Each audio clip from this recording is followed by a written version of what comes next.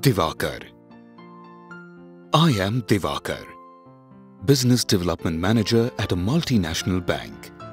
Today is my daughter's first birthday. My little Jyoti. She lights up my life with a smile. My sweet little ray of hope. Today, I am very happy. But things were not always like this. Three years ago, I would have never imagined that I could ever feel this happiness again, that I could ever celebrate life again. For that's when I was told that I have chronic hepatitis B. I still remember that day very clearly. My father had just retired from his job. My sister was to get married within the next 10 days. Our house was being decorated and I had just returned home after donating blood for my friend. When the phone bell rang, it was a call from the hospital. I was informed that my blood could not be transfused because I was detected positive for hepatitis B. I was absolutely healthy. My career had just begun. Maybe there was a mistake in detection.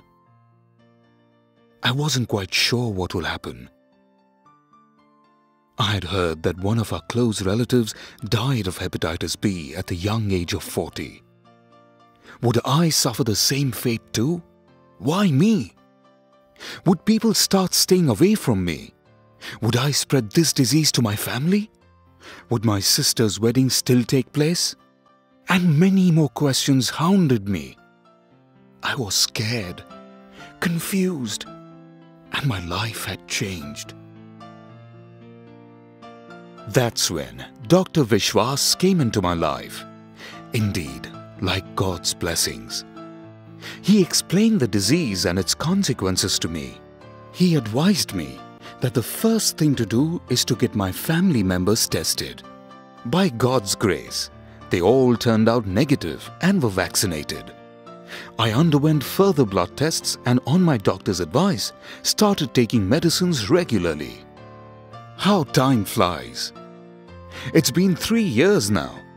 I'm still on medication and feel fit and healthy. Today, I am promoted as Business Development Manager in the same bank where I started my career. I am married for the past two years to Divya, whom I met at the clinic.